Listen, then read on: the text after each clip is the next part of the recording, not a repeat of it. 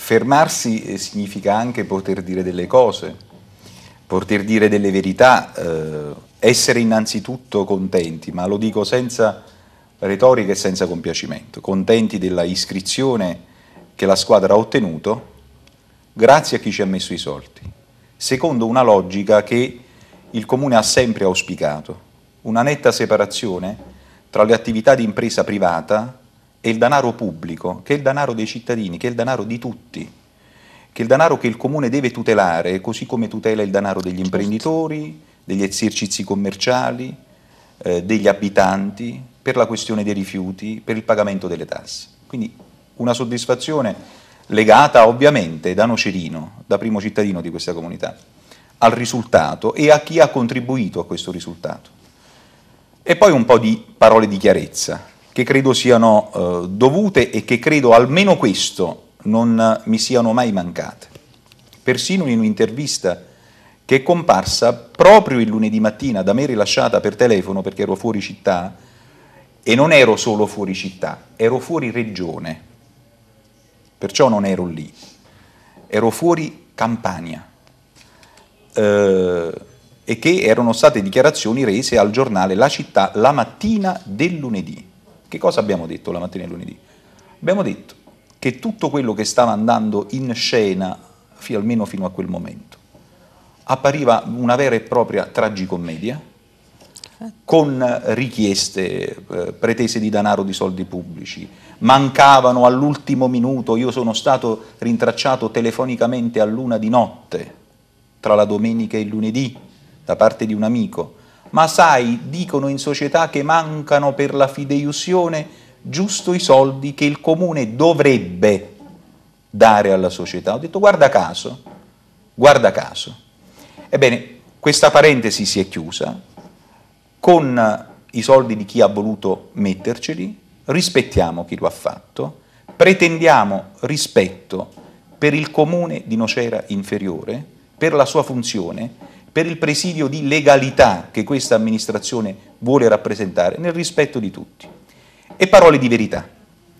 Tra le parole di verità c'è innanzitutto un documento, guardi io non sono abituato a cacciare le carte perché so che la mia parola mi permetto di dire anche qui senza presunzione, vale qualcosa.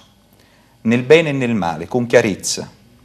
Io non ero fuori Nocera a caso quel lunedì, io avevo comunicato con documento ufficiale alla prefettura del venerdì precedente che sarei stato fuori città e per di più fuori regione, come ho detto prima, fino al mercoledì successivo. Non potevo immaginare dal certo. venerdì al lunedì di quella mattina che succedesse tutto ciò che è successo.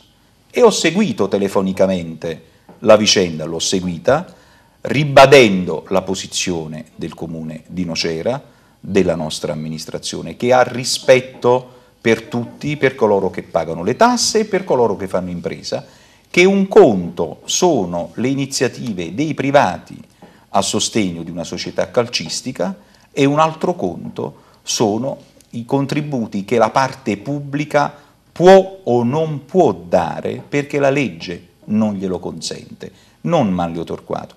Quindi innanzitutto sull'assenza è stato creato un polverone veramente indegno perché non era la verità dei fatti come documentalmente probabile. Secondo, che cosa ho detto in una telefonata che ho ricevuto in ripetute telefonate, fino all'ultimo minuto, ricevuto da parte di varie persone, per rispetto ovviamente ometto di farne i nomi, persone che erano lì al comune.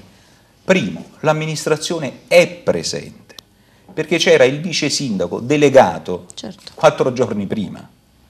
L'amministrazione è presente perché in quel comunicato c'è una persona a cui va il mio rispetto per la sua vera sincerità e passione sportiva, che è il consigliere Alfano, che è il delegato allo sport. Abbiamo detto e questo non è stato detto nella cornice dei ringraziamenti principali.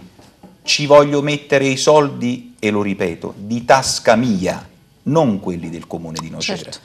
E come farlo? Simbolicamente, in maniera che credo abbia un senso anche sociale.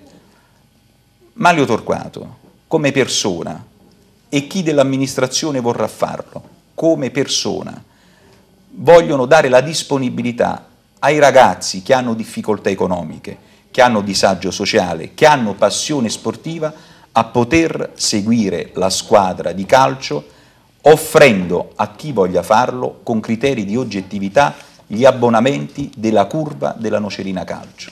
Ma lo faccio io, non lo si fa con i soldi del comune di Nocera, che sono i soldi dei cittadini di Nocera.